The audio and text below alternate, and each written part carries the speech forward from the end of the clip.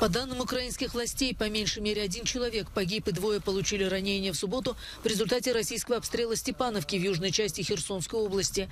На видео, предоставленном пресс-секретарем президента Украины Кириллом Тимошенко, видны интерьеры церкви и школы, предположительно поврежденные в результате обстрела. Тимошенко сообщил, что были также поражены штаб гуманитарной помощи и больница. Президент Украины Владимир Зеленский призвал западных партнеров помочь в создании надежного щита ПВО для защиты от российских ударов, обращаясь к согражданам Зеленым сказал, «Дорогие украинцы, желаю вам здоровья. Главное сегодня – это энергия. За сутки удалось восстановить электроснабжение почти 6 миллионов украинцев. Ремонтные работы продолжаются, они идут без остановки». От российского обстрела в селе Княжичи Киевской области повреждены как минимум три дома. По данным украинских властей, за минувшие сутки ВСУ отбили российские атаки в районах более 15 населенных пунктов в Луганской и Донецкой областях.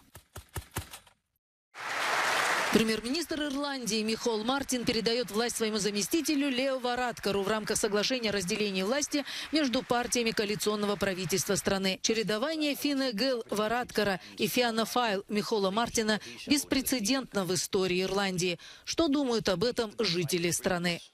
Я полагаю, что это будет почти то же самое. К тому же у меня лично претензий к ним нет. Похоже, они довольно хорошо управляли ситуацией во время эпидемии ковида.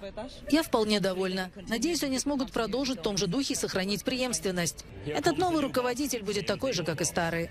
43-летний Лео Вараткар, имеющий индийские корни и открытый гей, по-прежнему остается одним из самых молодых лидеров Ирландии. При этом он возглавит правительство уже во второй раз. В 2020 году, после отставки Вараткара и выборов, было сформировано первое в истории Ирландии коалиционное правительство Фиана Файл и Фина Гейл, который возглавил лидер Фиана Файл Михол Мартин. Сейчас кресло премьера вновь должен занять Вараткар.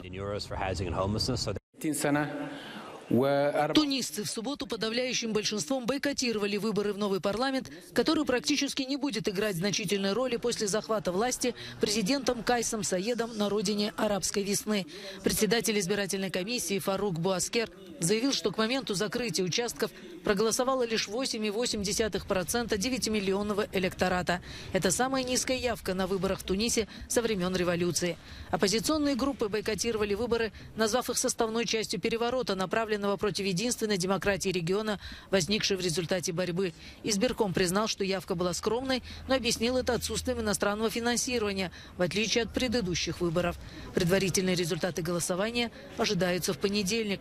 Выборам предшествовали три недели почти незаметной избирательной кампании с небольшим количеством плакатов на улицах и отсутствием серьезных дебатов среди общественности, озабоченной повседневным экономическим выживанием. Аргентинские болельщики ожидают или великой победы Лионеля Месси, или его же великого поражения. Ставший легендой при жизни, футболист ясно дал понять, что для него из-за возраста это последний шанс поднять над головой Кубок мира. Я никогда не думал, что мы дойдем до финала. Это лучший момент в моей жизни. Мы собираемся победить и стать чемпионами в последнем матче Месси.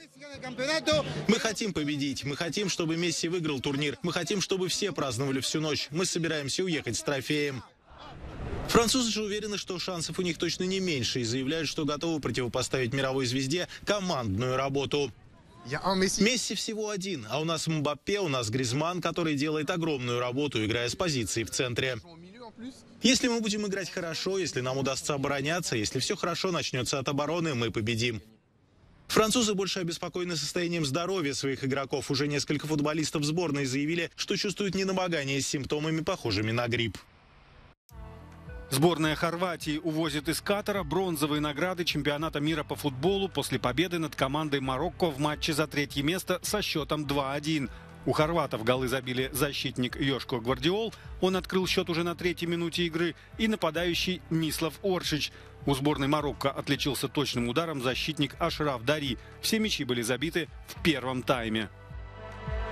В воскресенье 18 декабря в Катаре состоится финальный матч чемпионата, в котором встретятся сборные Аргентины и Франции.